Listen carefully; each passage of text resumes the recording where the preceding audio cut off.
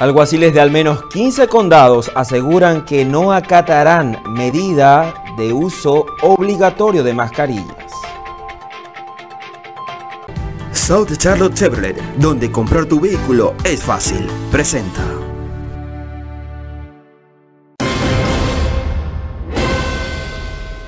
En Carolina del Norte, los alguaciles de al menos 15 condados no acatarán la medida del gobernador Roy Cooper sobre el uso obligatorio de mascarillas. Algunos alguaciles calificaron la orden como inaplicable, mientras que otros aseguran que el mandato es inconstitucional. Según el reporte de medios locales, los alguaciles de Craven, Beaufort, Pitt, Washington, Sampson, Bladen, Columbus, Catawba, Gaston, Burke, Ardell, Halifax, Union, Stanley, Elements y otros condados han hecho declaraciones aclarando sus posiciones sobre la aplicación de la ley.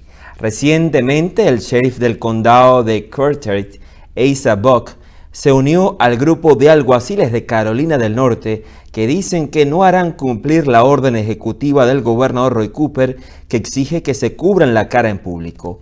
En un comunicado, el sheriff del condado Catawba, Don Brown, aseguró que la orden no es ejecutable y tampoco conlleva consecuencias penales para los comerciantes.